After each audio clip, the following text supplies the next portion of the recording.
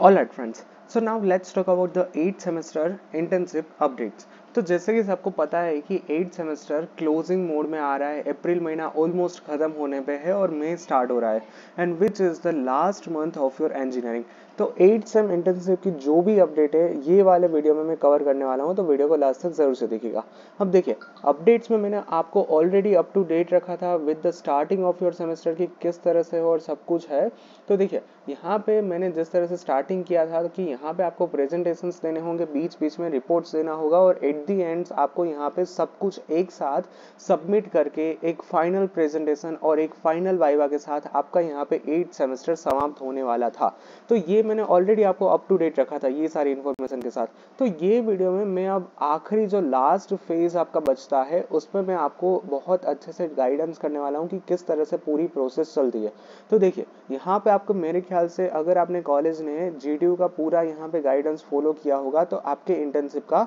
Primary and secondary report जो presentation था वो खत्म हो चुका होगा। क्योंकि यहाँ पे जी ने क्लियरली बोल के रखा था कि आपको यहाँ पे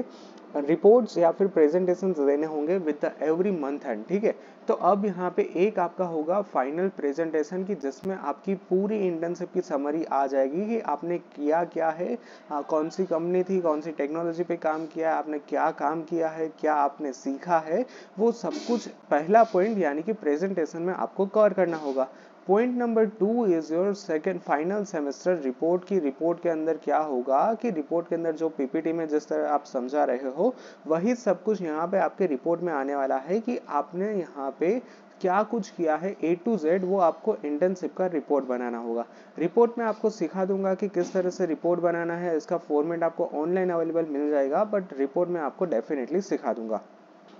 So this is your point number two, where you have to create your report now point number three is कि अभी आप यहाँ पे तैयारी में रहिए कि आप जो रिपोर्ट बना रहे हो, वो जैसे ही अप्रूव हो जाए आपकी फैकल्टी के पास से तो आपको इसका थीसिस बनवाना होगा। थीसिस यानी कि हार्ड पेंडिंग आप जो भी बोलते हो तो मैं यहाँ पे फटाफट से गूगल के ऊपर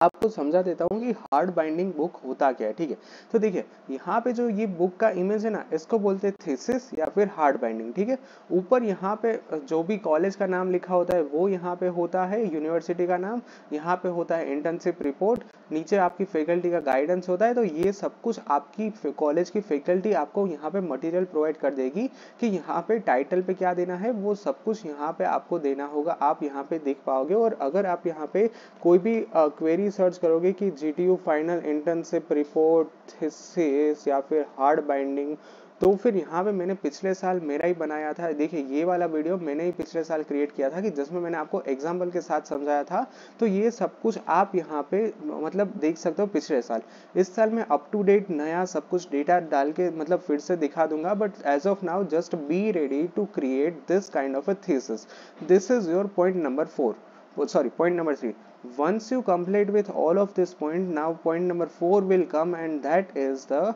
how you can perform in the external viva तो उसके लिए भी मैं आपको तैयारी करवा दूँगा बट एक्सटर्नल वाइवा में कुछ नहीं होने वाला है। आपने जो भी रिपोर्ट में लिखा होगा, उसमें से सवाल आएँगे। अगर रिपोर्ट में आपने ये लिखा था कि मेरी पूरी इंटर्नशिप एंगुलर के ऊपर थी तो आपको पूछेंगे कि देखिए एंगुलर का यूज़ क्या है? किस तरह से आपने एंगुलर यूज़ किया? देखिए प्रेजेंटेशन में प्रोजेक्ट रिलेटेड कुछ नहीं पूछ सकते, क्योंकि आप जहाँ इंटर्नशिप कर रहे हो, वहाँ की पॉलिसीज़ होती है और वो पॉलिसीज़ यहाँ पे क्या होता है